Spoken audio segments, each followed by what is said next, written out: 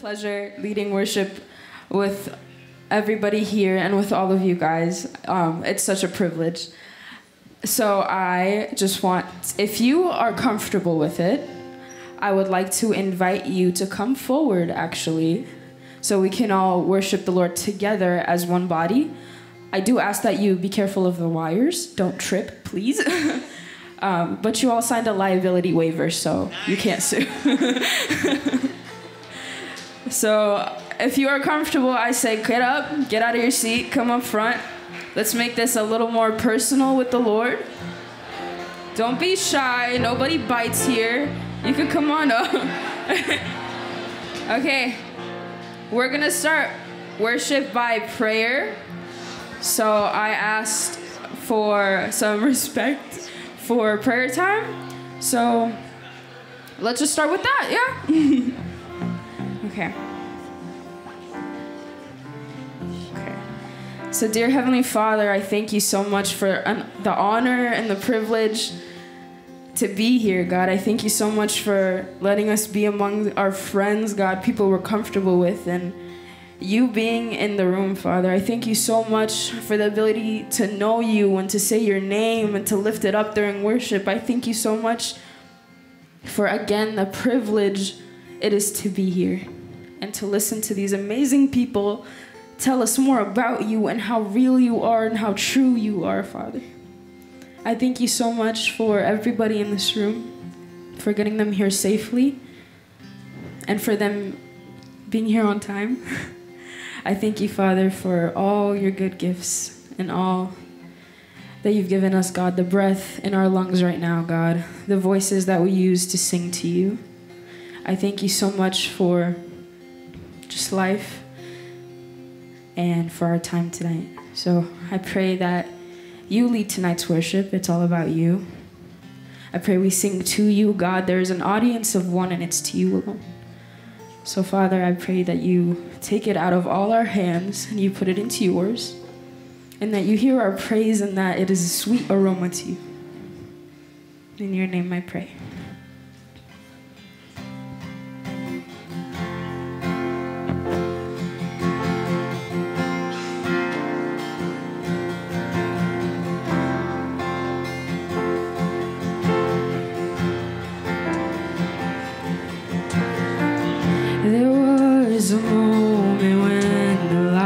Went out.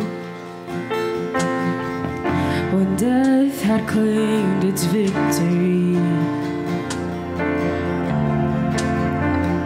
The King of love had given up his life. The darkest day in history.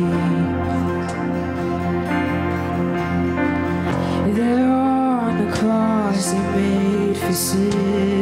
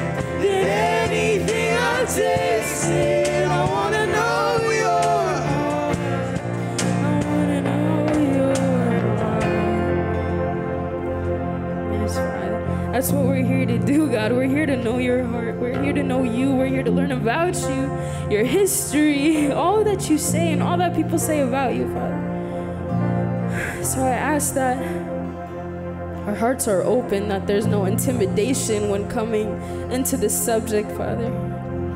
I ask that you give us peace to ask questions that we're scared to, God. The courage to ask them, Father.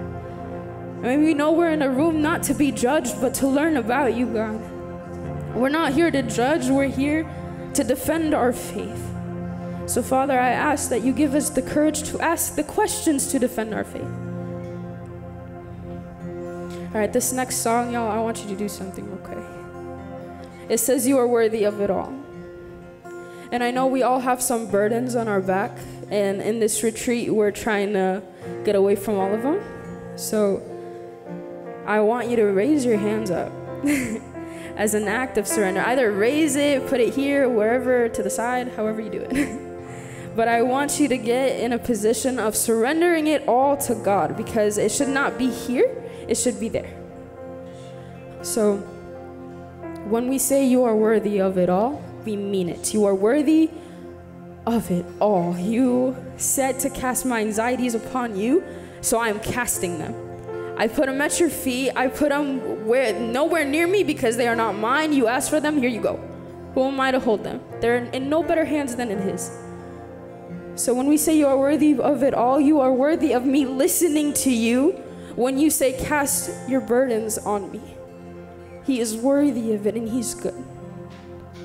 So, in this next song, I want you to actually mean it. He is worthy of us being here, He is worthy of us giving Him praise and honor and glory.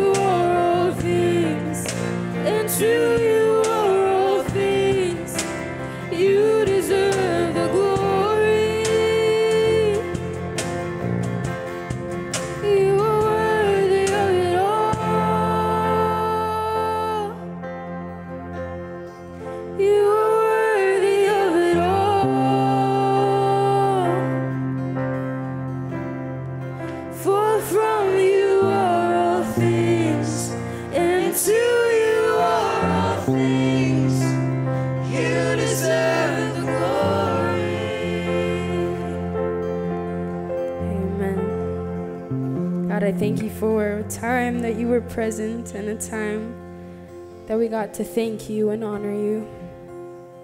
Father, I pray that this posture continues as as the weekend goes on and as the days go on. I pray that we come to you, God, with hearts yearning to know you, who you are, your character, your history, all the little details about your life, just like you know all the little details of ours. So, God, I pray that you speak through the speaker. And maybe he be a willing vessel, God, to just be used by you. In your name I pray. Amen.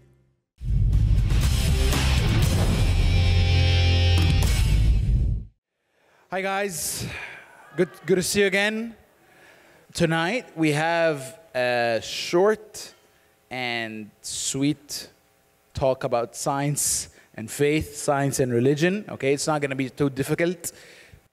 This is actually my specialty. So I've done a, a, a master's. I finished a master's in the philosophy of science and religion in the University of Edinburgh, and uh, it's a huge topic. Like think about religions of the world and sciences and the intersection between those two big arenas. It's a huge, huge, huge field of study, and we're going to distill it into one nice small capsule.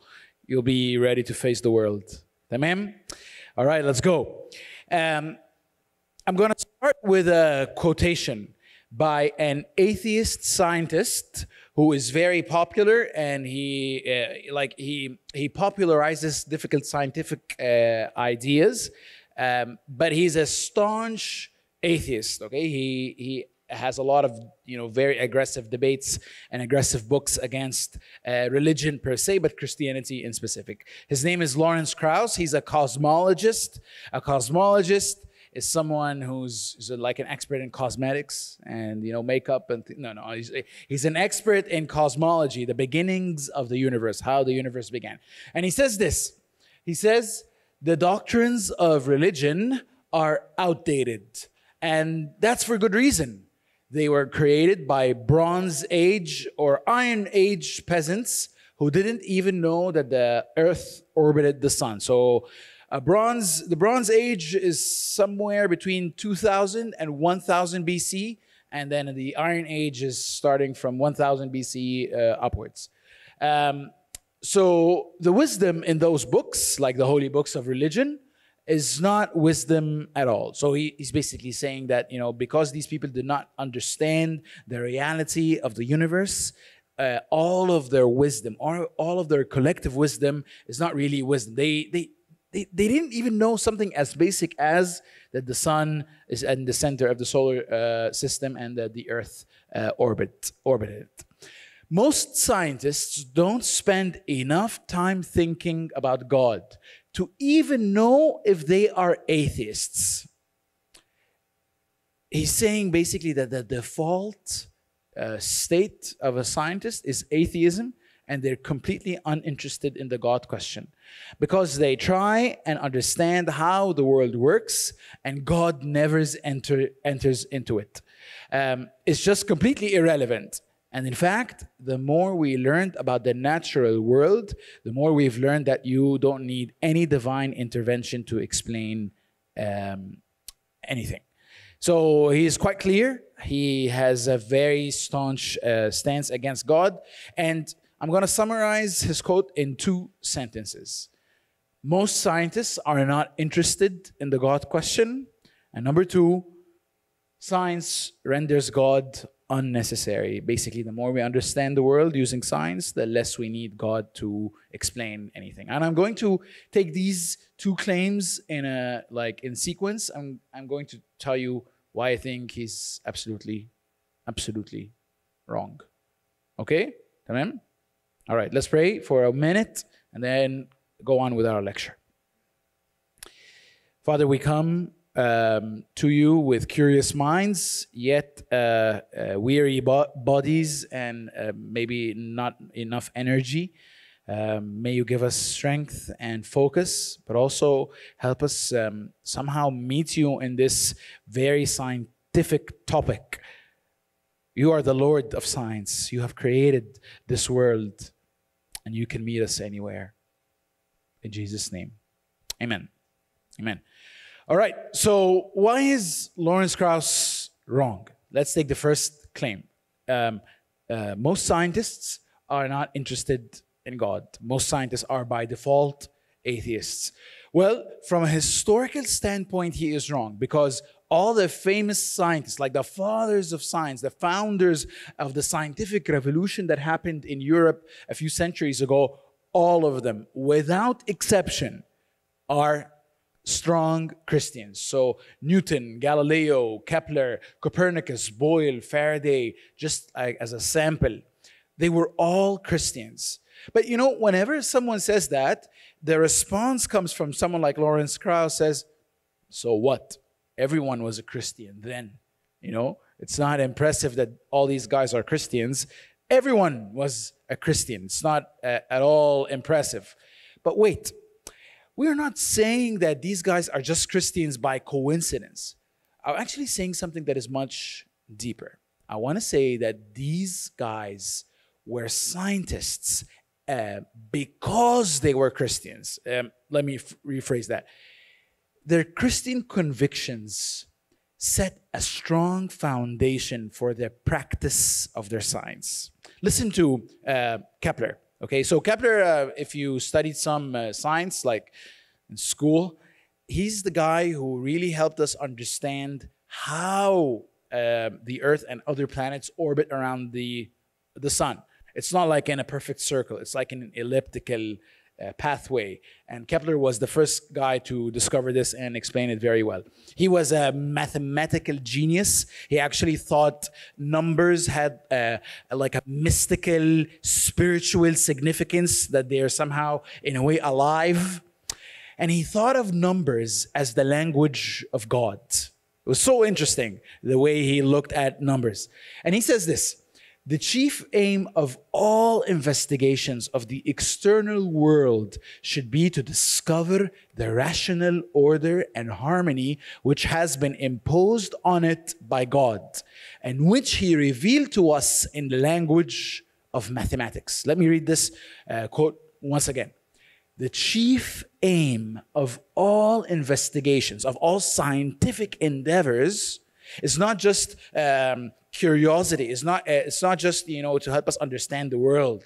No, he has a very, very spiritual aim to his science. The chief aim of all investigations of the external world should be to discover the rational order and harmony which has been imposed on it by God and which he revealed to us in the language of mathematics.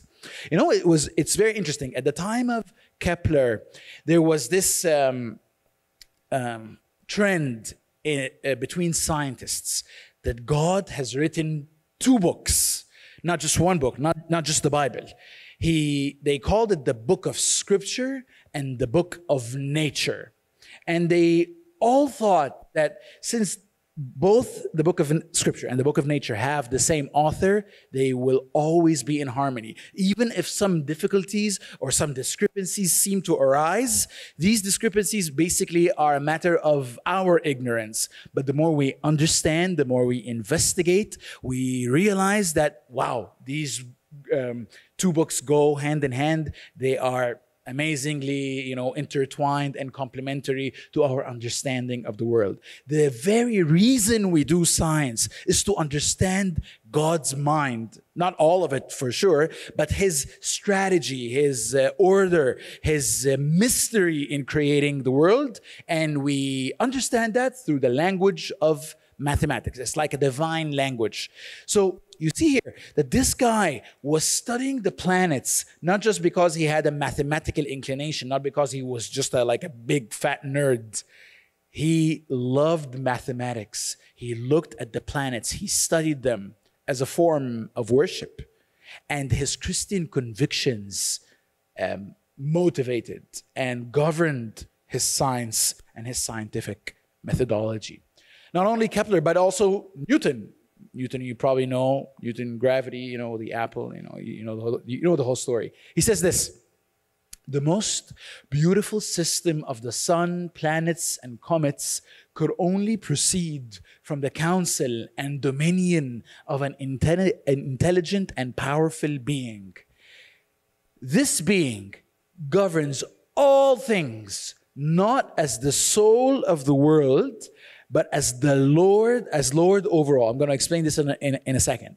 And on account of his, of his dominion, he is to be called Lord God And this Greek word, uh, Greek word is called panto, pantocrator, panto, pantocrator, uh, like a dictator, no, not a dictator, but like a, a pantocrator. So a pantocrator is the lord or the ruler of all things. Panto means all. So let me just explain a little bit of context. Newton is trying to critique, uh, you know, previous science, science that was based on Greek uh, mythology. Greek mythology, like from the days of Aristotle and Plato, you know, these uh, Greek philosophers, um, these guys thought that the elements of the universe, like uh, trees, uh, rocks, rivers, water, had souls of their own. They almost like had minds of their own. They actually thought something that is very weird. They thought that matter was eternal. You know what, what eternal is? Uh, ha- something that has no beginning. When they thought of creation, they thought of uh, God as they called him the prime mover. So think of God like as a carpenter. A carpenter makes a chair or makes a table, but he doesn't make the wood. He gets the wood, okay, and he shapes the wood, he moves the wood around to make a table. But the wood is a given. So these early philosophers, when they thought of the universe, they thought of the universe uh, as something like this matter plus God. Matter plus God. And, and both of them come like in a, um, together in a package. As Christians, we reject that because we think that God created matter out of nothing. The, the Latin word for this is ex nihilo. There was nothing alongside with God. God was not obliged to use matter because it was somewhat, somehow there next to him. God created matter. Matter does not have a soul or a spirit in its own. It's the creation of God. And God is the Lord over everything. So Newton, as a Christian scientist, he had some weird ideas, but generally his theology was Christian, thought that, you know what? The, the, the best way we could understand what we are discovering about the universe is that this universe, the elements of the universe, are not um, uh, animate uh, beings like these elements are not they, have, they don't have minds and souls of their own. No. They are things that are created by god and god imposed a system for these things to work with. So this was like a very small sample of very early scientists they call them like the fathers of the scientific movement or the scientific revolution that these guys were christians not just by coincidence but their science was colored with Christian convictions and assumptions and ideas. And they use these ideas to critique previous science and base their science on the idea that God created the world from nothing and he created it with a system, with an order that we could discover. But then you, you might say, well, these were the early scientists, but modern scientists are mostly, are mostly atheists, right? Wrong. Actually, up till now, if you study, like, for example, uh, the history of the Nobel Prize, um, the overwhelming majority of scientists who won the prize, even in the very hard science, sciences like chemistry, uh, physics, all of them not all of them, but a big percentage of them are believers in some way or another. I know the media always wants to portray to us this uh, image that, you know, all intelligent scientists are atheists. You know, uh, only only uh, only second tier scientists are Christians or Muslims or things like that. But the real scientists are atheists. Well, you know what? There is such a thing as popular myths. You know uh, what's a popular myth? Like they are myths, but they're just popular because they're propagated through the media. But if you basically take a survey of scientists, a big chunk, probably even the majority of them, would believe in a God uh, of some sort or some kind. So Lawrence Krauss, on a historical but also on a statistical um, investigation, he's he's wrong. But but let me let me just uh, push that idea a little more. Why are these scientists uh, friendly to faith? Is it a coincidence, or are there ideas in the Christian faith that are actually conducive and supportive of science? Yes, there are many, and I could go on and on and on, but I'll just take two ideas that are very Christian ideas, but also they helped, historically, they have had the rise of science. The first idea is that the world, the universe, is law governed. You've all studied in science. I know some people might hate science, but you know it's it's a fact of life. You just need to accept it. That there's such a thing as laws of nature. Like these are mathematical equations that describe the regularities that occur every day in the out in the workings of the universe. And these mathematical equations are so stable, they're so robust, they're so regular that scientists now regard them as laws. You know, um, in, in, in, scientific endeavors, things start out as a hypothesis, like a, some kind of a suggestion. You know, I think that such and such moves in such and such a way.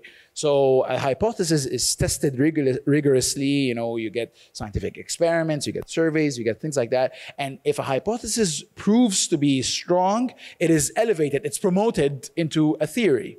Okay, so a theory is a very strong scientific idea that has passed uh, that has passed a lot of tests and rigorous investigation.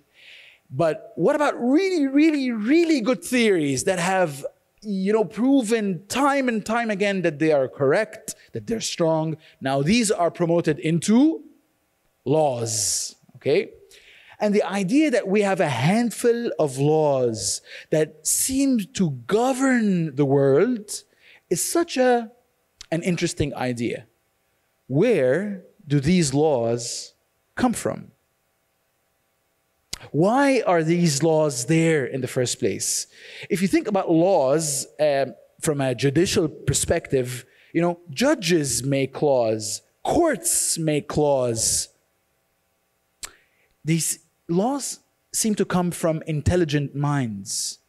And in a way, Christians from the very beginning have always thought about the world as being created and governed by an intelligent God that has instated laws that act as mediators for him to run the world.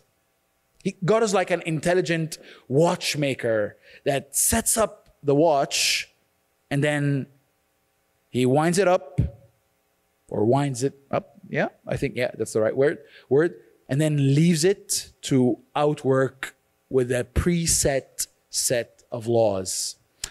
So this idea is very, very Christian. Um, if you remove God out of the equation, okay, you you will find it a little bit difficult to assume the presence of laws. And that's actually what a lot of good uh, or clever atheist philosophers do. They want to say there's no such thing as laws. Laws are just you know our descriptions of what happens regularly. But as christians we want to say yes we can expect that the world is governed by laws because we believe in an intelligent law maker. Now there's a second idea here there could be laws, but who says we are able to know them or discover them? That's a, that's a, even another difficult fact. The idea that we as humans could investigate to we, we could conduct scientific investigations and experiments and actually discover the laws that's even a more interesting fact but why are we able to do uh, why are we able to do such a thing you know let's assume that there is a God, that He created this world using laws. What says that we are, actually able to discover these laws, like the language of mathematics, like Kepler was saying? But that's another interesting idea. If humans are created in the image of God, they are able to understand God's language. So not only are uh, there are laws to govern the world, but we as humans ha- somehow have the capacity to discover these laws and express them in mathematical equations. Now, these two ideas that there, there are laws and we have the ability to discover the laws are very, very strongly associated ideas with Christianity that there is an intelligent creator and he created us in his image. That's why the Christian thinker C.S. Lewis he summarized it such eh, in such a way. He says men became scientific. I'm sorry for all the women here. He he, he you know, he, he means men and women, but he's just like a, a Victorian writer from the 20th century. He just said men. Men became scientific because they expected law in nature. And they expected law in nature because they believed in a law giver. So he's trying to say that the rise of science in Europe in the 15th, 16th, and 17th century was not by coincidence. It was motivated by a prior strong conviction that there is a lawmaker. And because there is a lawmaker, we should expect law in the universe. And that prompted Christians in Europe to try and discover these laws. And let me add a little bit of information here. There was one sociologist that, that uh, tried to um, compare the rise of science in Europe uh, to the rise of technology in ancient China. Okay, and it's so interesting. He he discovered that um, China, uh, Chinese intellectuals were not interested in pure sciences. They were not interested in chemistry. They were not interested in mathematics. They were not interested in physics. Why? They were only interested in technological advancements, like, like making things, making um, uh, small machines and, and things like that. And he says this Buddhism is a very atheistic religion. It's, it doesn't pose an intelligent God who is distinct from the world who created it. No, it's like we're part of the universe and the universe is just there. And because they don't have the idea of an intelligent lawmaker, they found no interest or inkling to look for natural laws.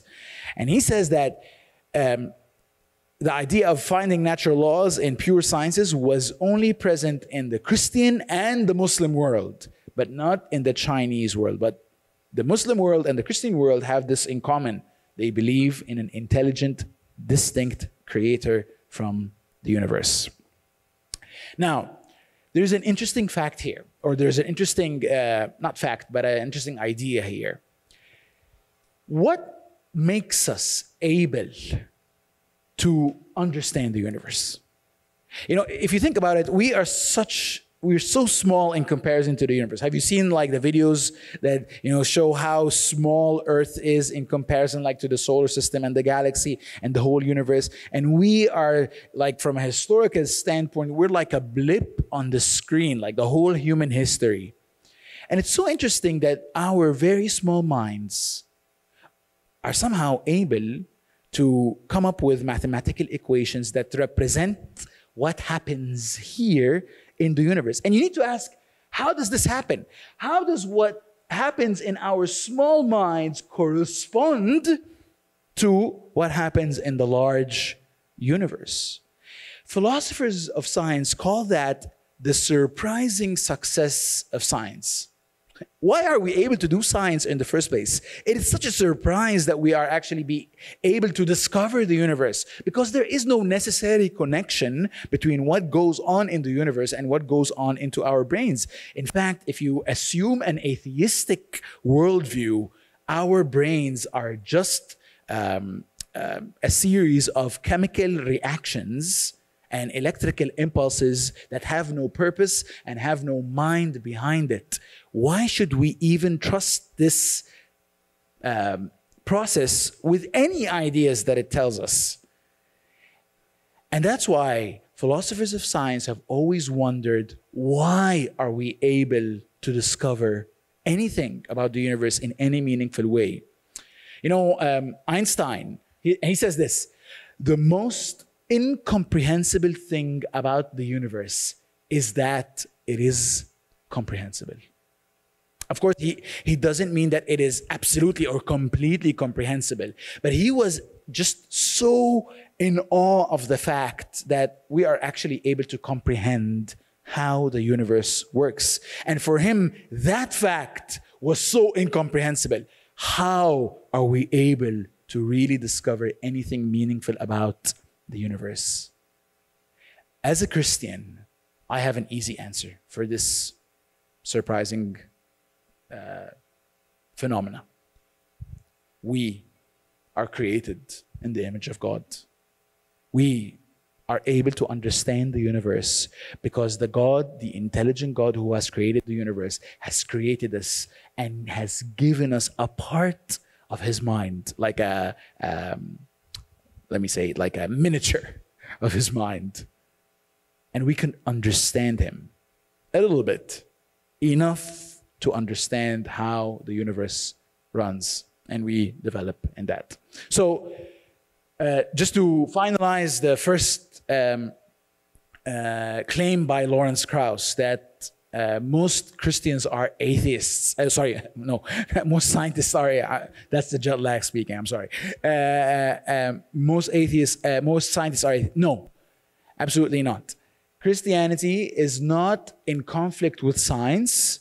In fact, Christian thought was foundational to the rise of science. And let me give you one quotation from a very famous historian of science, a, a science who, a historian that specializes in studying how science developed across the centuries. His name is Peter Harrison. He's Australian, and he says this: For several decades now, um, historians of science have been have been painstakingly chipping away at the conflict thesis. What's the conflict thesis? It's the popular idea that says that science and religion are somehow in conflict.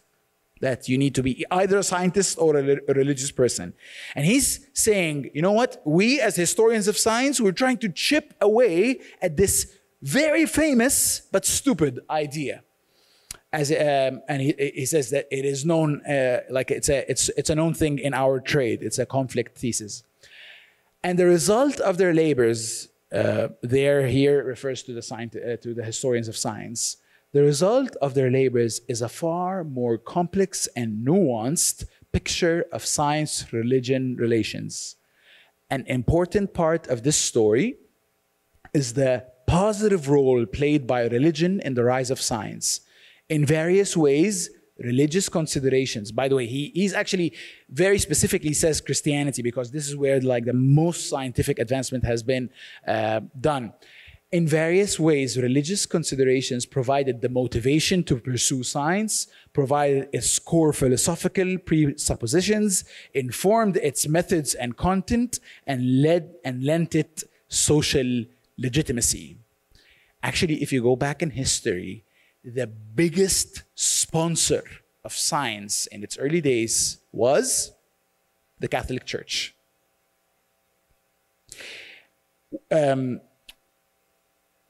sometimes, a lot of times, it is actually portrayed to us that the Catholic Church was very resistant to science, that scientists were like liberators of the mind from the dark ages. But that is all popular myth most scientists, all scientists in the beginning were Christians, and most of them were clergy and priests, and even the ones who weren't, even Galileo, famous Galileo, was sponsored by the church. And by the way, Galileo was not burnt at the stake for saying that the earth revolved around the earth. Uh, the earth revolved around the sun, okay? He was just a big mouth with a very unwise diplomatic uh, uh, person, undiplomatic personality, and he got in trouble because he, um, you know, he got into trouble with people in power. So it was a political thing. It was not a scientific conflict. All right. So, wrong. A lot of scientists are believers, historically, but also in, in a modern sense. Now, the second thing that Lawrence Krauss has said that science somehow renders God unnecessary. Remember how he said it? He said, the more we understand science, the more we understand how the work, how the world works through science, the less we need God to explain anything about the world. And let me try to unpack this a little bit. What is he saying? How, what is the objection he is presenting to religion? His um, objection goes like this. In the beginning, or like like in the early ages, our knowledge of the world was very, very primitive, right? Makes sense, you know, science evolves with time or progresses with time. And our knowledge of the world was like uh, this broken line. It's very random, it's very sporadic, it's very unconnected. And we, have a, we had a lot of gaps in our knowledge. That's how he describes it. Like in the Bronze Age, we had a lot of gaps in our knowledge. We do not really understand how lightning works or how uh, tides work or how the stars revolved or moved. We had a lot of gaps. And he says that the ancients basically filled these gaps with with God. I don't understand it, therefore God did it.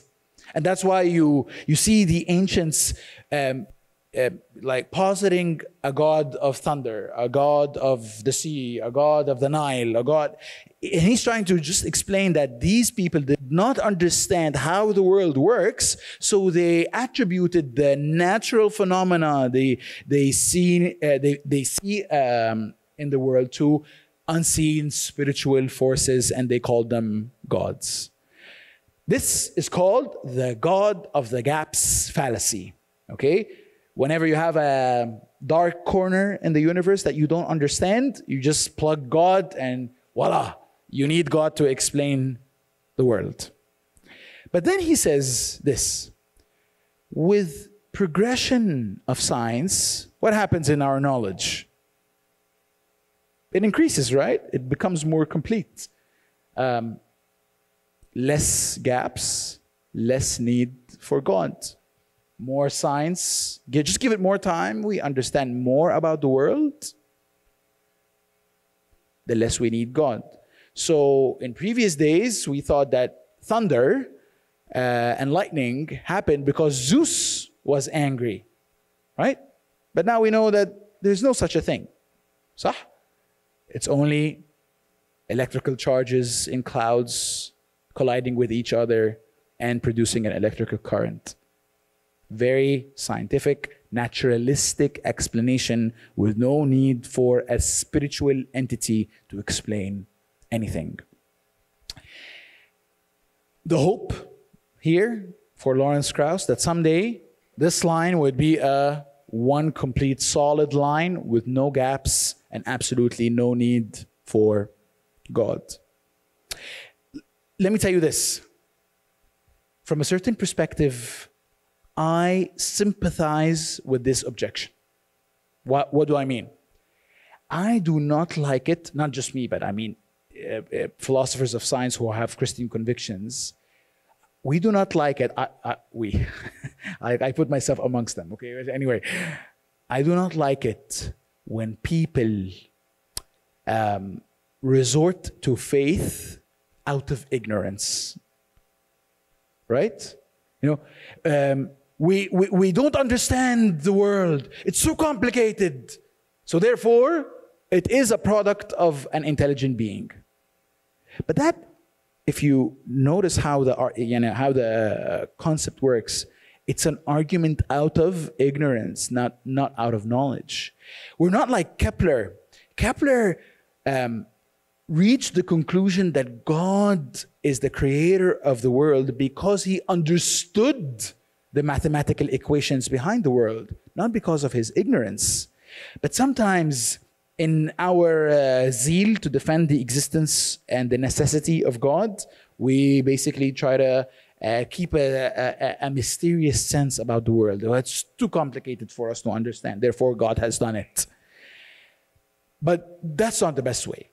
Okay? And Lawrence Krauss maybe helps us a little bit here to come up with a better argument, with a better conception of God. And I want to present that to you. And that's going to be my last uh, big idea. And we're going to take some questions. I want I want to help you make a distinction, a distinction that would give God his rightful place in like the ideas in the world of ideas, but also would give science its rightful place. And this distinction is between something called a mechanism and something that is called an agency. A mechanism and agency. These things are distinct, they are complementary, but they are distinct things. The mechanism seeks to answer the how question. How does a thing work? What is the mechanism by which this phenomenon occurs? But the agency is an, our attempt to answer the why question. Why is this mechanism there in the first place? So think of this. A, a huge part of the philosophy of science is how do we explain things? Okay, what is a good explanation? Okay, that's a huge area of study. All right?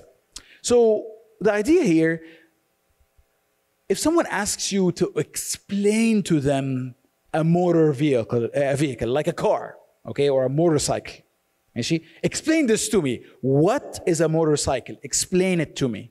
Well, you could go by the scientific route. You could just explain how internal combustion, now you have electrical cars that said to a completely different mechanism, but how internal combustion works okay? How the fuel goes into the cylinders how the cylinders you know ignite the fuel and you know how it changes the heat eh, the, the chemical energy into heat energy into kinetic energy and how it moves the car all right? But also there's another type of expl- explanation for the car. You could explain the car by positing henry ford you know Ford cars are they're named after Henry Ford. He is the inventor or, and the developer of the modern mo- motor. Okay, if you want a better, you know, the, there's like the Tesla battery and Elon Musk. Okay, let me ask you this: Do I need to choose between Elon Musk and the Tesla battery? Do I need to choose between Ford and the internal combustion mechanism? No. These are two parts of the answer. One is answering the how question how does a car work? How does a car function? But also, there's another question why is there a car in the first place? Why is there a car that works through internal combustion? Well, because there's this guy, Henry Ford, he was so intelligent, he invented the car and told you to put gasoline in the tank, not Fanta. All right? Okay? Let me give you another illustration. Let's say I want to explain the boiling of the water inside here. I could go on the mechanistic, scientific route.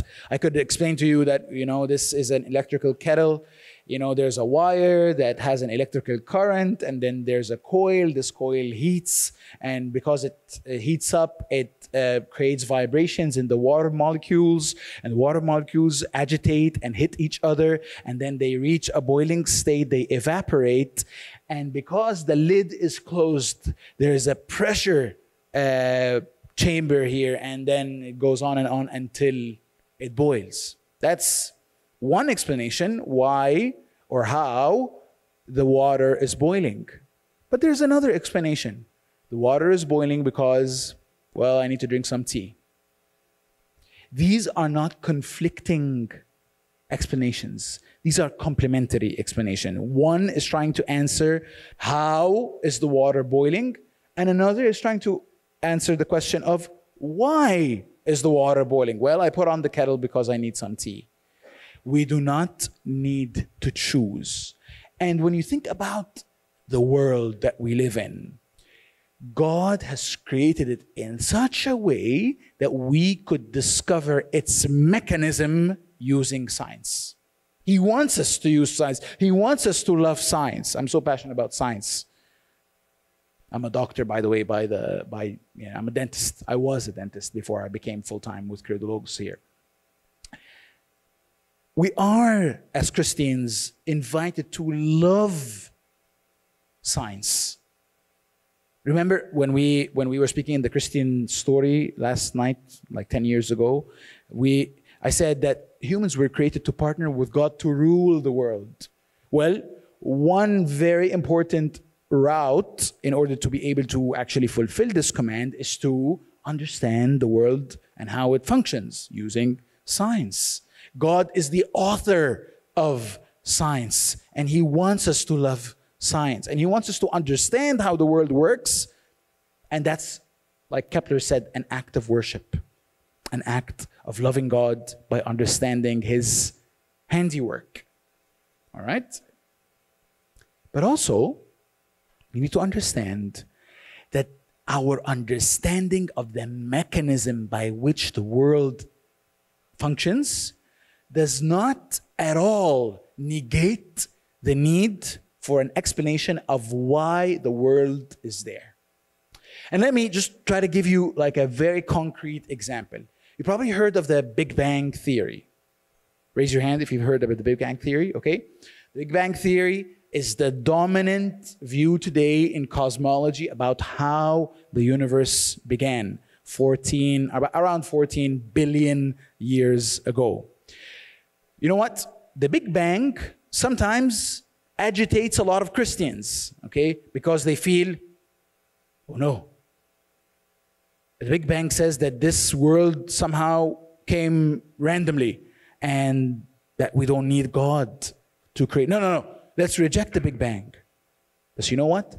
The Big Bang is one of the best evidences that the world had a beginning and therefore needs an explanation of why it began And we posit God as the creator and the beginner of the world using the Big Bang. You may reject the Big Bang and let's talk later about this. You're probably wrong, but يعني uh, okay but you don't need to choose between the Big Bang and God. The Big Bang is the mechanism, and God is the agent that uses the mechanism to accomplish his purposes. Okay? Let me take this a little bit a, a little bit more controversial, okay? Evolution. Now we now and back here we can have a discussion.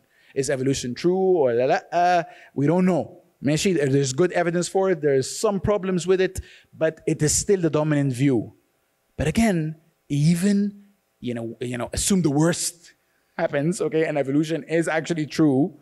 It's a mechanism, a mechanism that does not negate the need for an agent, an intelligent mind behind the mechanism that sets it up, but also determines its end and final purpose.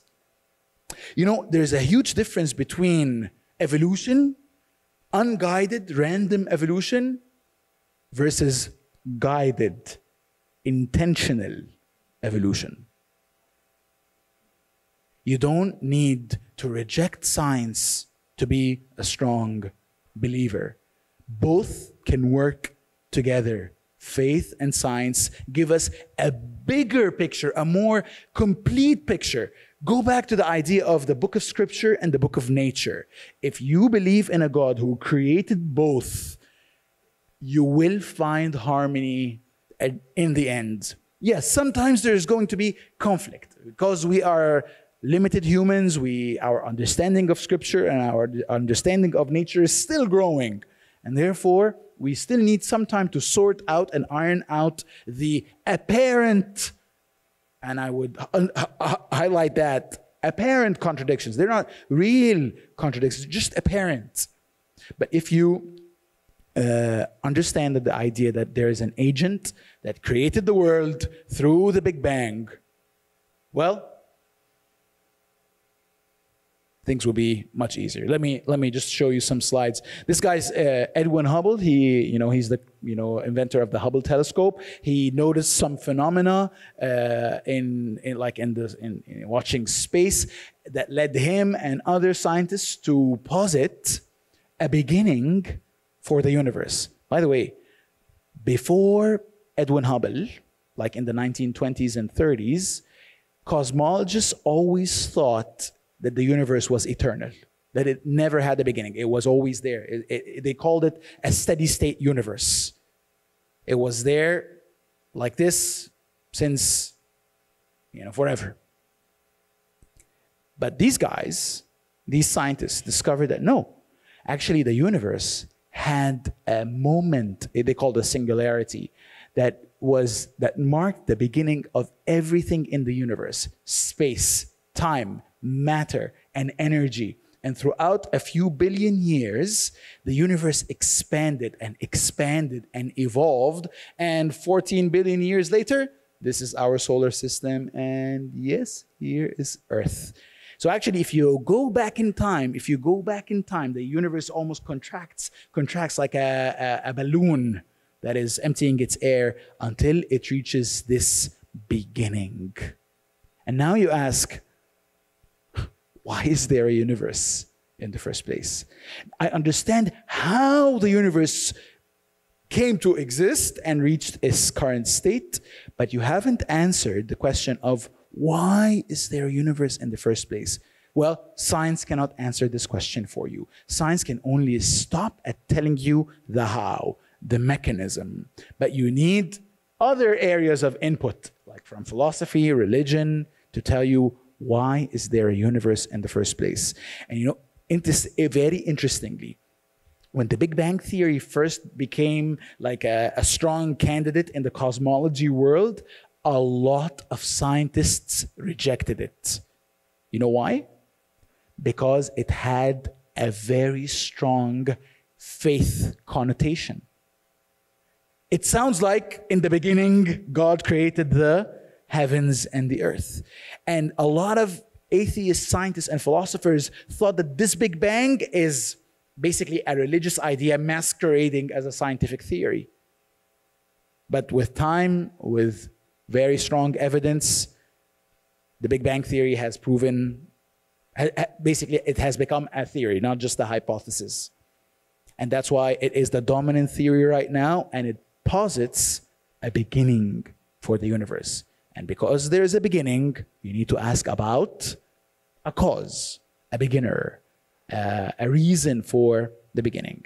And let me end by the quote from this atheist philosopher. Okay? He's writing at the time in which the Big Bang Theory has now just become the dominant theory. And he says this For the scientist who has lived by his faith in the power of reason, this guy is an atheist, okay? The story ends like a bad dream. He's speaking about scientists who now have now discovered the uh, established the Big Bang theory. Okay, he has scaled the mountains of ignorance. He's about to conquer the highest peak, like to discover actually uh, how we became to exist, how, we, how we've come to exist. As he pulls himself over the final rock, he is greeted by a band of theologians who have been sitting there for centuries. You understand the sarcasm here? He's being very sarcastic. He says, all these scientists have, are so proud they've, eh, you know, conquered ignorance and discovered the Big Bang and they really understood how the universe came about it's like a big mountain that they're, you know, pulling them, themselves up. And after they reach the top, they find a band of theologians who have been saying that the universe had a beginning since 3,000 years ago. Like the theologians, and Michel, I mean, theologians themselves, since 3,000 years ago, were saying that the universe had a beginning. We understand that. We know that. We know that there is a creator and he created the universe. We did not know how he created the universe, but now science has given us a good idea of the mechanism that he used. Okay? You see, science and religion are not foes, they are friends. Sometimes they are portrayed as foes by people like Lawrence Krauss and Bill Nye, the science guy. You probably know him, and Richard Dawkins. But actually, if you go into the weeds and you study the history and you study the actual theories and you study the actual theology, you would find that actually they give us a complementing, a more rich view of our world and our universe. I'm done. I think this is the shortest lecture that you'll probably ever hear in this camp. Thank you.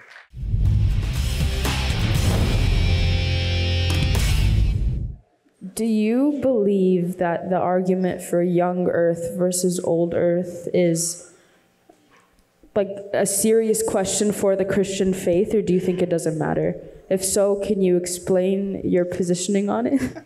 Let me say this it is an you know you understand her question صح? some some christians say that the earth is young so they reject the big bang then they say that the earth is only 10,000 years old or like the whole universe is around somewhere between 6,000 and 10,000 years old and they calculate it by basically adding the genealogies in the book of genesis other christians say no we accept the big bang theory to explain uh, the history of the universe for us in the Bible to have a different and more episodic timeline, and we shouldn't take that uh, to to mean that uh, it's like a, a full length explanation or display of the history of the universe.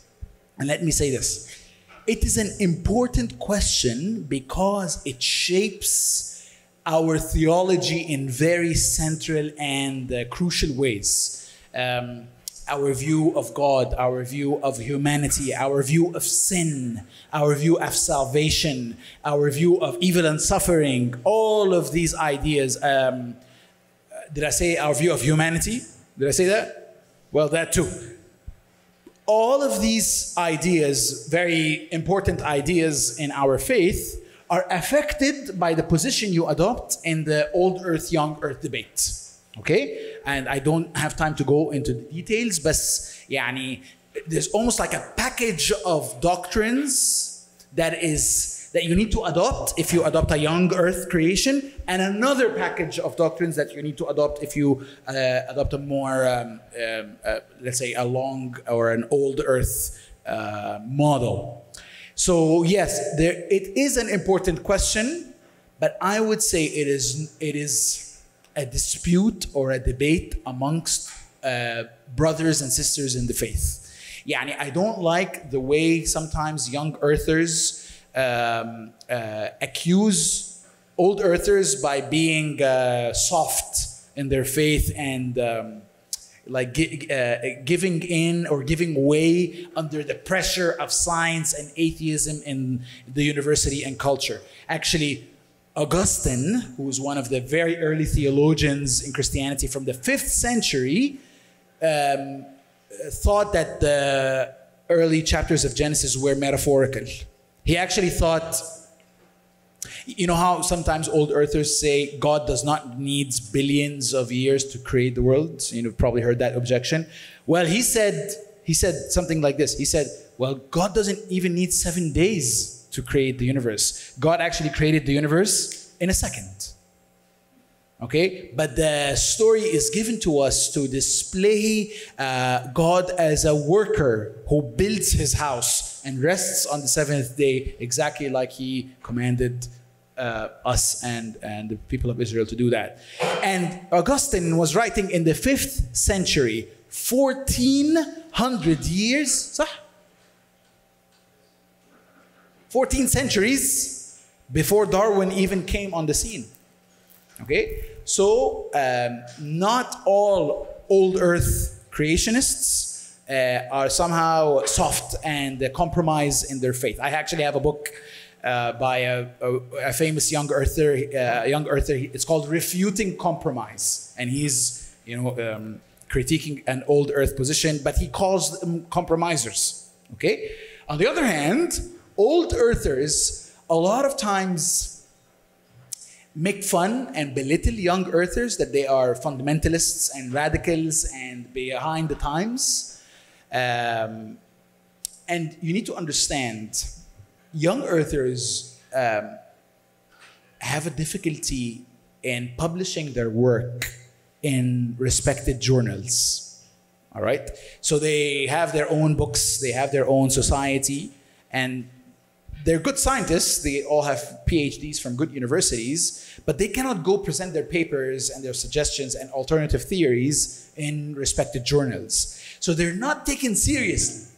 Okay, and that's a, and that's a difficult uh, thing because, well, their theology has very, very, very strong theistic implications, and that doesn't sit well in the academic world. So there is a little bit of a conundrum here you might want to challenge the dominant theories, but you're not able to, even though you know that there are the dominant theories have some difficulties. But also, I want to say to the young earther, you know what? yes, sometimes there may be difficult in difficulties in some scientific theories, but that doesn't mean they're absolutely wrong.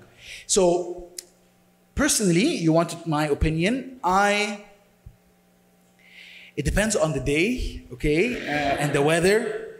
Sometimes I'm a young earther, sometimes I'm an older, sometimes I'm, uh, uh, I'm what is called a theistic evolutionist or a, an evolutionary creationist.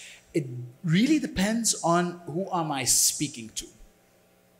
I, um, I'm flexible in, in this area. If someone feels that, you know, all Christians are absolutely stupid because they all believe in a young earth that is absolutely against uh, all scientific consensus, to that person, I will become an absolute theistic evolutionist. No, the Big Bang is true, evolution is true, and God used these mechanisms to create his world. But if I'm speaking to a Muslim, who somehow they have a, yani a similar view to a young earth uh, creation, I would adopt a young earther creation. I mean, it really depends on who I'm speaking to and why am I able to do this with a clear conscience? I'm not being a hypocrite here. I'm simply accepting the fact that good, faithful Christians who love the Bible and who are faithful to, its, to, to the word adopt different stances on this difficult question. And because, you know, I, I, I have heroes in every camp. Let me just say it that way. And because I'm able to um, see the strengths and weaknesses in every opinion, I'm a little bit in a position where I am on the fence. Not I'm, I'm not on defense. I'm on the fence. Okay, when it comes to this question, and it really depends on the day. Okay. Hi. Okay. So I know I understand you talked about how like we should accept like the Big Bang theory, evolution. That like you don't understand, or you do. I do understand. You do. Okay. Thank you. That like God is behind the mechanism and everything. But then like, how do you explain it with God's timeline? Because you showed the picture and explained how it took like billions of years, but then like God created the earth in seven days, and then why would He say seven days if His timing is like different and like how would All right. we align All right. those? Okay, that's a good. Okay, that's a follow-up question to I the, know, yeah. the previous question. So it depends on your position. How do you interpret the first few chapters of Genesis? Some interpreters, whether scientists or theologians or scholars of scripture, interpret these seven days as literal 24 hours, seven days. Okay, like a week, like a, a modern week. Other people see good reason, whether scientific but also scriptural, to look at these days as metaphorical.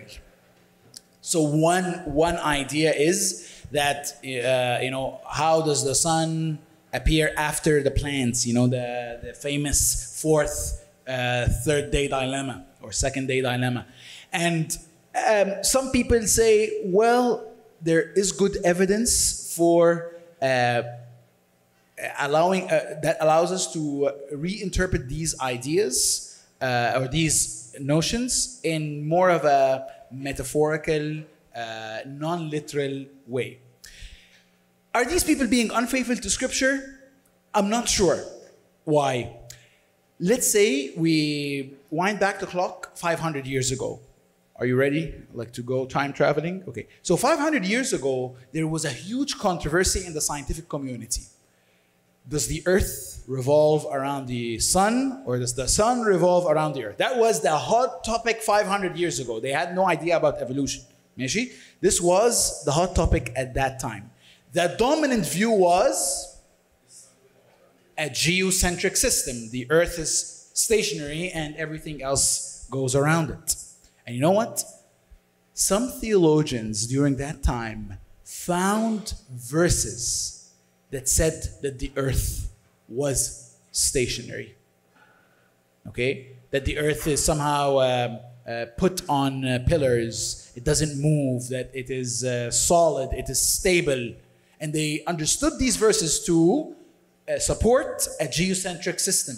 Geo from earth and centric system. Well, do you believe in a geocentric system? No, you don't. You absolutely don't. Okay, you probably think that the earth moves around the sun.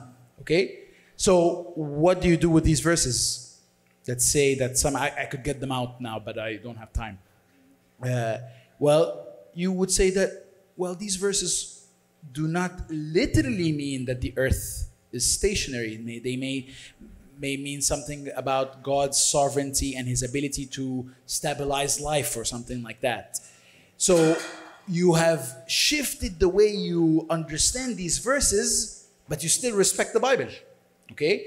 And in that sense, a lot of old earthers today say if we revise the way we read the first chapters of Genesis, that is not being unfaithful or compromising to the authority of the Bible. We're just understanding it in a better way uh, because of the discussion that is going on in the world. Do you understand what I'm saying? Okay? So it's a matter of interpreting the relevant passages, not about who loves the Bible more, uh, who is faithful to God's scripture more. Okay? Other question. Yes, go ahead. So, where does that put Adam and Eve in the whole evolution timeline? Okay. Again, it depends on the like opinion you adopt. Most young earthers and a lot of old earthers um, um, adopt what is called a historical Adam position. Adam and Eve were historical individuals. They might place them differently along the line. So, for example, you might you might hear of William Lane Craig, okay, very, very, very famous Christian thinker and apologist and philosopher. And he recently wrote a book about the historical Adam, and he believes in an evolutionary timeline, and he places Adam around 750,000 years ago okay, as the uh, primary human couple, Adam and Eve, and he um, includes Neanderthals under the under the um, you know human race, and uh, another closely related uh, group called the Denisovans. Anyway, so he believes in a historical Adam and Eve and a historical fall, but he places them a little bit backwards in the timeline. Young earthers would, not, would say, no, there's Adam and Eve, but they were maybe 6,000, 7,000 years ago. Um, that's the timeline. Other Christians would say that Adam and Eve are uh, literary devices. Okay, what, what does that term mean? It just means that uh, the Bible um, expresses spiritual truths in a literary story. So they look here at Adam and Eve not as, as historical individuals who lived somewhere in the history line, but Adam and Eve as uh, uh, um, basically a story that represents all of humans, but they do not necessarily have existed somewhere in the timeline. Personally, I would want to adopt a view that preserves the historicity of Adam and Eve, regardless of where it puts them along the timeline. I feel that, um, I mean, um, sacrificing the historicity, historicity of Adam and Eve has very radical um, ramifications to your theology that I'm not ready to, uh, to accept. Uh, so I want to uh, accept the historicity of Adam and Eve, but I may be on the fence on where on the timeline do I put them. Okay? It's a very um, delicate distinction. Um, the question was you talked a lot about these the scientific mechanisms um, that were created by God. So then that one of the questions that that begs is then how much does God intervene now? He created all these mechanisms like the Big Bang, maybe evolution, all of these things, but to what extent does God intervene or or mess with the stuff now? Great question.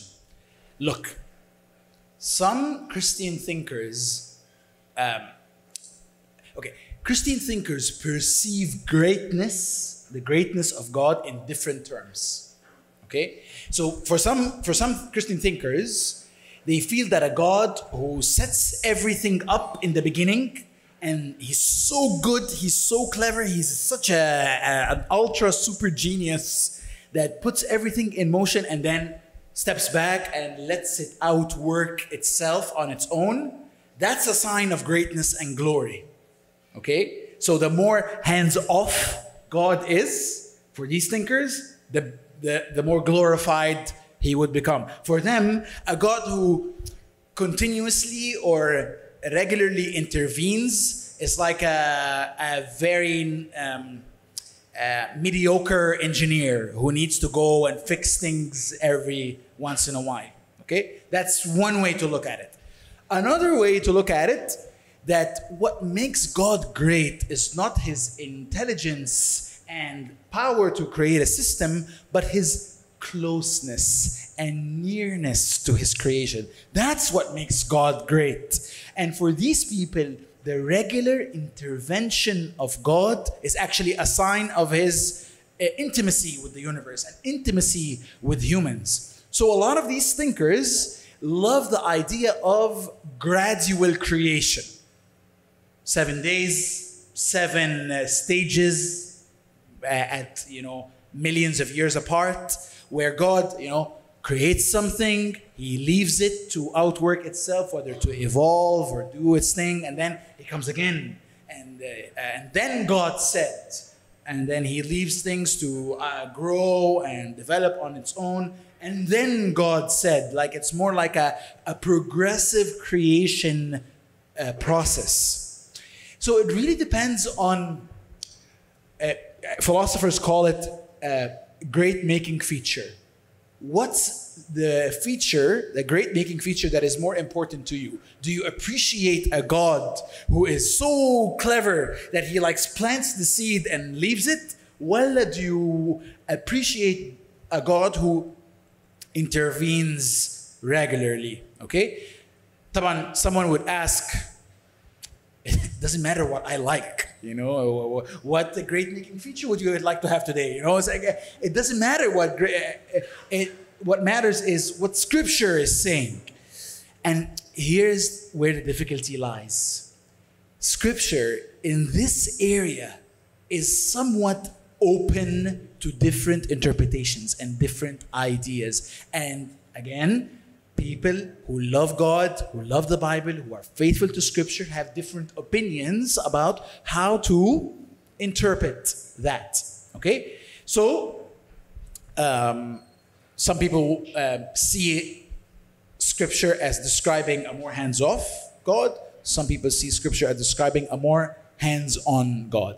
But by the way, both both people, both theologians or thinkers, would be open to the idea of miracle. So, miracles are um, purposeful interventions that are not according to re- regular laws of nature, that are, are, intended to accomplish a very specific purpose of God, uh, for God in a certain time. Uh, and even evolutionary creationists who are very generally hands off when it comes to God's intervention in creation are still very open to the idea of God intervening here and there for miraculous acts. Okay? Some of them even say that the rise of consciousness in humanity is a miraculous act. We cannot explain it by evolution alone. This, is, this needs a, a, a miraculous intervention.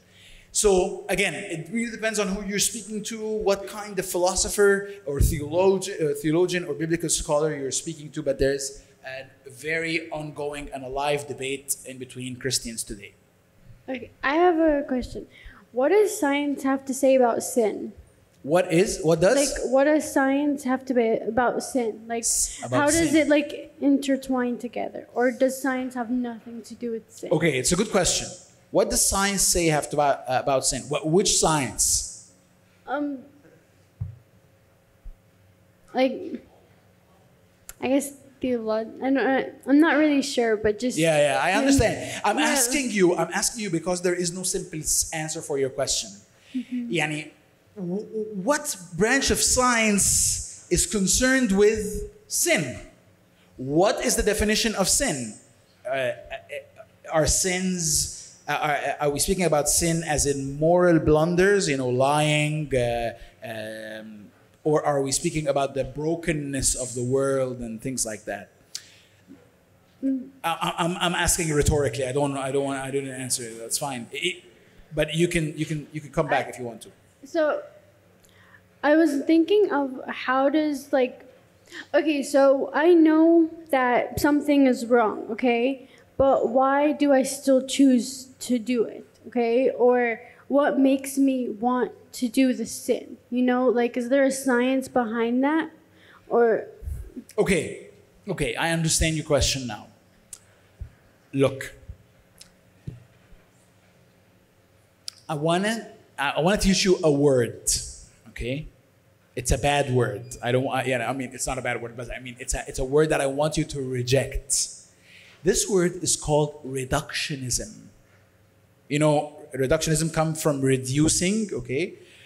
Reductionism is a way of thinking that takes a very complex phenomena, a multifaceted phenomena, and reduces it to only one of its aspects. That's a very bad way of thinking about things, okay? It's a simplistic way. It attempts to explain things, but by making them more simple, but by making them more simple, it misses out on the complexity of the thing you're trying to explain. So let me try to explain what I'm saying, okay, without reducing it. The concept of sin, the brokenness of humankind, our biology, our relationality, our ideas, our addictions, our leanings, our weaknesses, it's a very complicated and multifaceted uh, um, uh, reality of who we are. It contains a physical, biological element that pertains to our hormones, our neurons, our genetics, but also there is a moral, societal uh, uh, um, um, aspect of the, kinds of relationships we are we found ourselves in, our uh, psychology, how we were brought up, but also there's a spiritual aspect. Where is our minds and souls and spirit and how they interact with the forces in the world, whether it be whether it be material or spiritual. So what I'm trying to say, I cannot reduce sin into one of these aspects let's say I'm speaking about a specific sin, okay? Um, a, a pornography addiction, for example. I cannot reduce pornography addiction just to dopamine and oxytocin and some neuronal connections. Yes, this is a very important part of a pornography addiction, but it's not that it's not the only part. I also cannot reduce um, pornography addiction to your childhood and how were you raised and you know whether you had a, a good childhood and loving parents whether you were exposed uh, to pornography as a child I'm, I'm not speaking about you i'm just speaking generally. I also cannot spe- uh, reduce pornography addiction just uh, to a spiritual struggle you know just pray it away.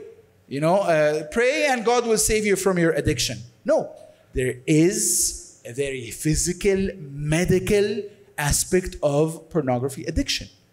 Okay? So I want to say you cannot reduce sin to only one part uh, of the uh, elements that explain it. There is a moral, spiritual, scientific, physical, societal, psychological aspect. And as a Christian, I want to take all of these into consideration when I um, look at sin, whether be it on a like a global, global general uh, scale or on a personal struggle, you know, very, very real and intimate scale. Okay?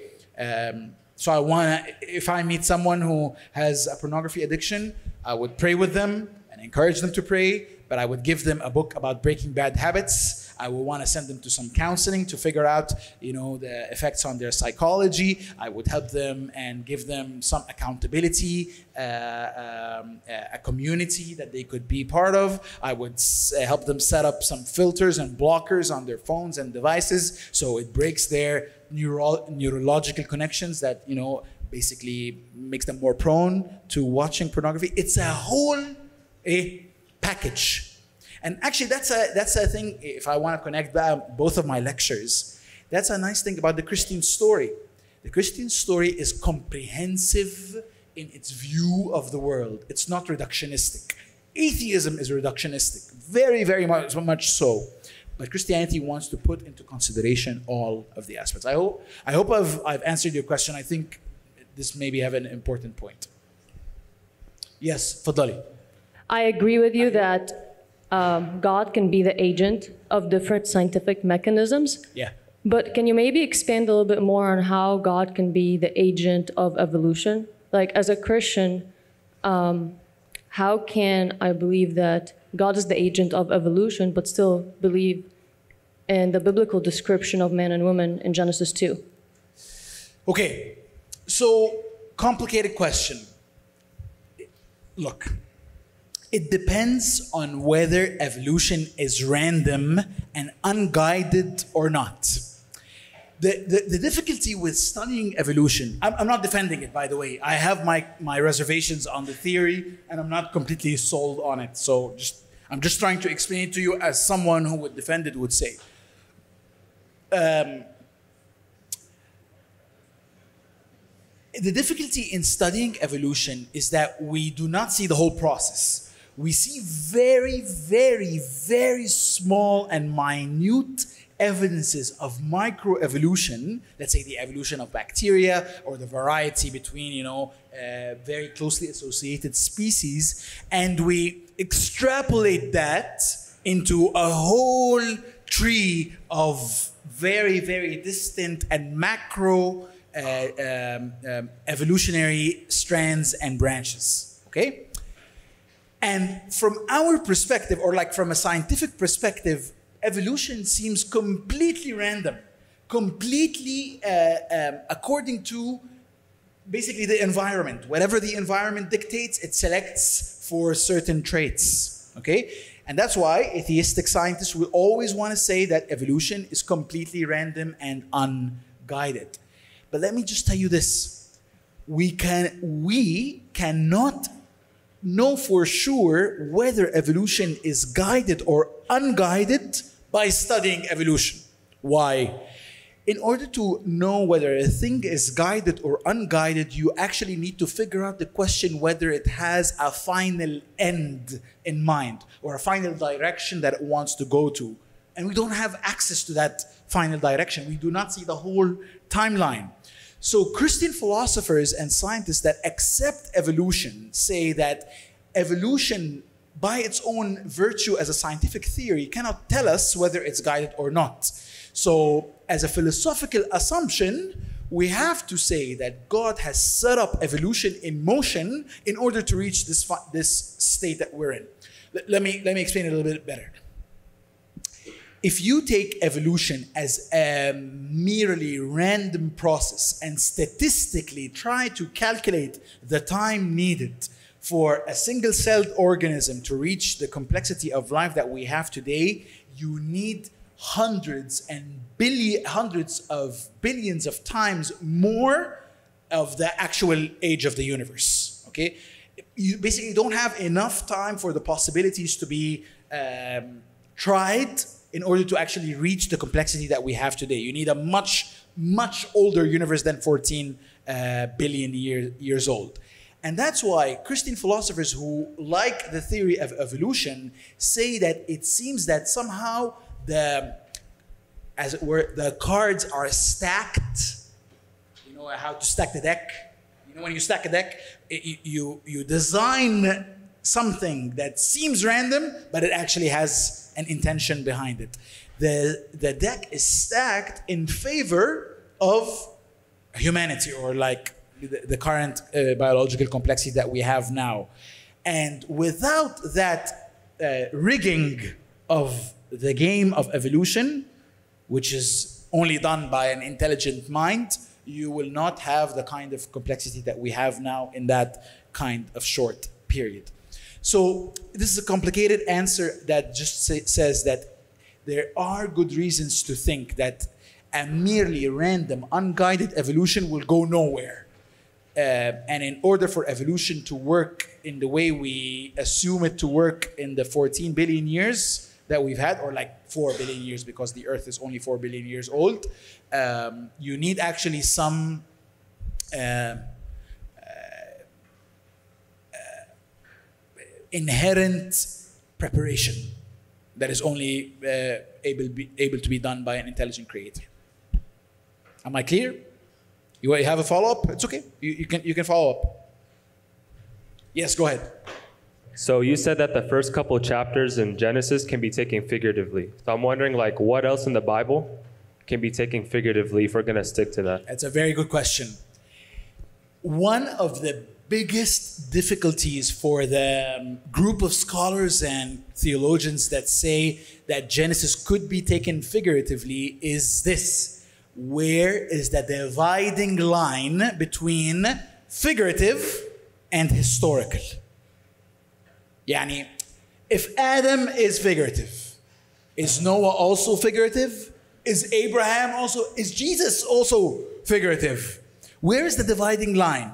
Okay, they would answer, they would answer, well, um, the Bible is not just one book with one genre, with one style of writing.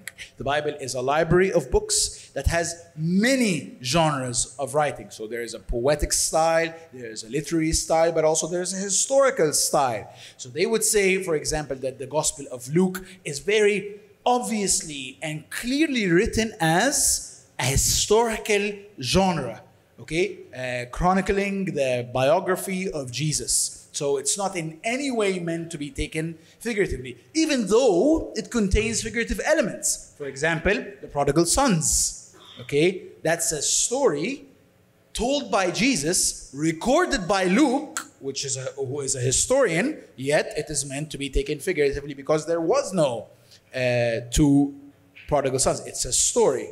So they want to say that as scholars and even as normal readers, you could easily, most of the time, figure out whether the text you're reading is historical or figurative.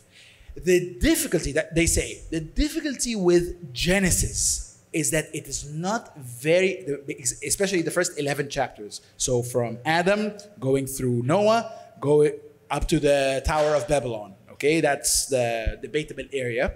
It's not very clear what is historical and what is figurative or metaphorical. There is a back and forth in that. Most of these scholars would say that starting Genesis 12, so Abraham, now that is historical. Okay? And but that is a difficult point because it seems like an arbitrary you know what's an arbit- uh, you know what arbitrary means like there doesn't seem to be logical criteria by which you say yes this is figurative this is historical. Okay, and, and, and, it is a big difficulty, and that's why that's why as a, personally I would always lean towards having I would call them non-negotiables. Okay, let me let me be a little bit clearer clearer i want to guide you i don't want to confuse you guys i know it's a big topic and it's very debatable and hot and some people just take it very uh, you know to their heart i can accept that the tree of knowledge of good and evil is a figurative literary uh, tool in the story. You know, if there was no tree, I wouldn't lose my faith or lose even some sleep over it. But I cannot negotiate in the historical Adam and the historical Eve and the definite intentional decision to break the covenant with God, the one we spoke about in the Christian story last night. But they could have done it with, you know, like cutting up a piece of paper or eating a fruit or jumping over a hoop. I don't know. Okay, they've they've done something. Okay, that is was indicative of their intentional decision to break away from God. But whether it be eating from a fruit or doing something else, I'm okay with being flexible here. All right? So I want to preserve a historical Adam and Eve. I want to uh, preserve a historical fall, uh, an event of some kind that was um, uh, very determinative of our nature today uh, as humans and very um, uh, catastrophic to the kinds of even I would I would say change the laws of nature that we live by uh, that we live in. Yet I do not know how it happened or even where it happened. Yani, if for some reason, مثلا, we discovered that the first humans were in Africa, not in uh, the ancient Near East, okay, I would be I would be fine with that as long as there is a historical couple with a historical fall. Okay? Difficult, very, very difficult. And by the way, this is an area of strength for the young earth um, opinion. They do not uh, everything is literal. Khalas. It's over. I, I do not uh, try, ah, oh, this is historical, ah, oh, this is figurative, ah, oh, this is, uh, no, no. Everything is as is apparent in the text. And that's why their theological position is very solid, very coherent. They don't have a lot of um, theological gymnastics, basically. Okay? Can you hear me? Yeah. Perfect. Um, so, in, as a Christian, or Christianity claims that God is all powerful, all knowing. And today you talked about how there's this perfect mechanism that was created at the beginning, that speed of light is still the same from day one, gravity is still the same from day one. How come God was able to create such a perfect and balanced universe, yet it came to humans and it did not go as planned? Uh, sorry, say again, uh, last sentence how come God was able to create such a balanced and perfect universe with the mechanism still working out well, and even the scientists are able to prove it to this day. Uh, but it came to humans and it did not go as planned. We as humans are not doing what God intended from Yeah. day one. Okay, so the main difference between human agents and all of nature is conscious free will. Uh, re- remember when I was saying that Newton was uh, critiquing uh, ancient Greek science, that it uh, somehow said that nature has a soul inside of it? But Christians do not think so. Christians think that uh, nature is inanimate. It's a creation of God. God created it out of nothing. So it has no ability to disobey or reject God or it's just nature, okay? But humans are different, are distinct from nature. They have the ability to reject God, and God created them with that ability. He didn't want slaves, He didn't want robots, He wanted lovers, sons, partners, as we've said yesterday. So, uh, the ability, the, the, the unfortunate fact that humans do not go according to God's plan, in a way, is God's plan. Not that He wanted us to stray away, but He wanted us to be free, whether to stay or leave. And in that way, that is His plan. Okay? So, uh, us being able to use our free will on our own accord, whether for ill or good, is God's plan. And uh, I'm okay with that. All right? Thank you so much. Lord Jesus, thank you so much. Um, thank you so much for giving us the intellectual capacities to even be able to discuss such things. God, thank you for giving us minds and brains to be able to um, even conceive of some of these things. God, thank you that. Um, that you created a big, beautiful world um, for us to explore and ask questions and have discussions. Um, God, that this is all part of it, that, that these types of conversations are all part of the big, beautiful thing that you made. And so, God, I pray that as a result of these conversations, um, that, that deeper thinking, um, that deeper love and honor for you, that um, better skills in conversations and and analyzing texts and looking at scientific data that all of these things would be things that provoke us to growing into being more whole mature human beings. So god thank you so much um, for what Youssef brought to us. Thank you for the questions and i pray that in the ensuing conversations um, and time that you would be honored. In the name of jesus we pray. Amen